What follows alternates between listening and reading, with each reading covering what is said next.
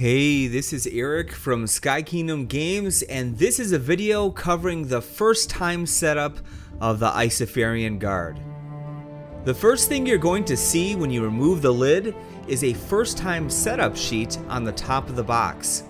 One side lists information regarding the audio narration provided by Foreteller Games.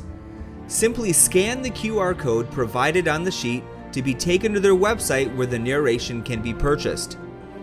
The story of the Isofarian Guard was written in a way that is meant to be heard and experienced with audio, and greatly increases the immersion of the story. Orchestral music was composed specifically for each scene to ebb and flow with the narrative. Our team highly recommends playing the Isofarian Guard with Foreteller. The other side of the sheet covers steps needed to set up the game for the first time.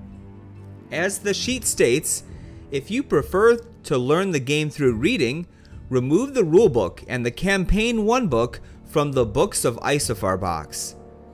Read the rulebook, then follow the instructions on page 16 for starting a new game. Just like the video you're watching now, we have a series of how to play videos available to those that learn better through video tutorials. You can find those at thestoneboundsaga.com forward slash the Isofarian Guard. Now, let's move on to the steps needed to prepare the components before starting the game. This process should take you 30 to 45 minutes.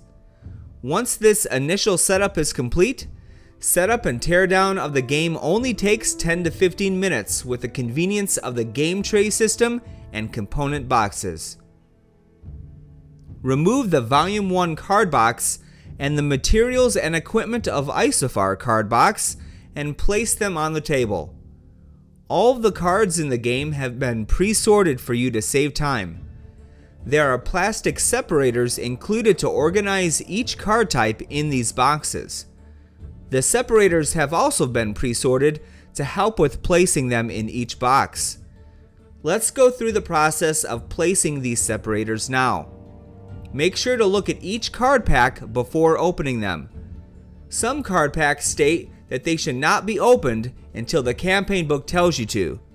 This includes a pack of separators as well.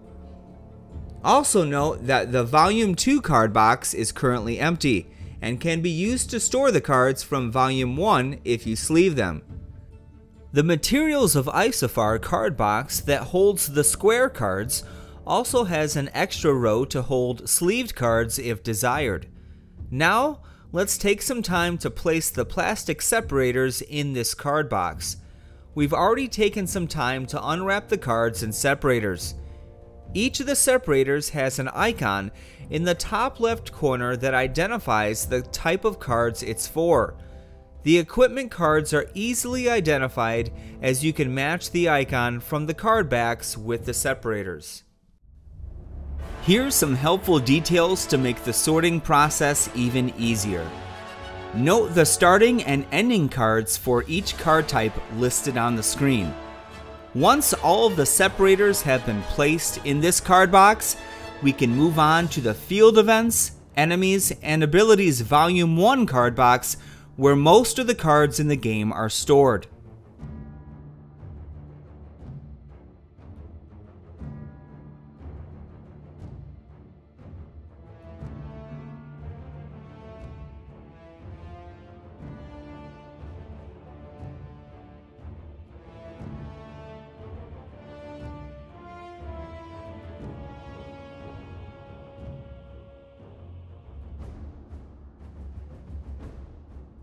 We've already taken the time to place the plastic separators in this box. There are three main types of cards to sort. The first type is Field Event cards. There are only 60 cards here, and they are easy to spot with their light background. The next card type makes up the majority of the box, which is the enemy and enemy AI cards. When sorting these cards, Simply look at the top of the card to identify the enemy's name. The separators are also sorted by name, so this process should go fairly quickly. Some of the enemies have more cards than others. This is because some enemies may appear in groups for battles. Finally, we have the guard ability cards. Each guard has two separators for their cards. The second separator is used to show which cards have been unlocked for that guard. When sorting these cards, simply take the first four cards from each guard and place them in front of the second separator. The remaining cards are placed behind the second separator. Here are some helpful details to make sorting these cards even easier. Note the four starting cards for each guard listed on the screen.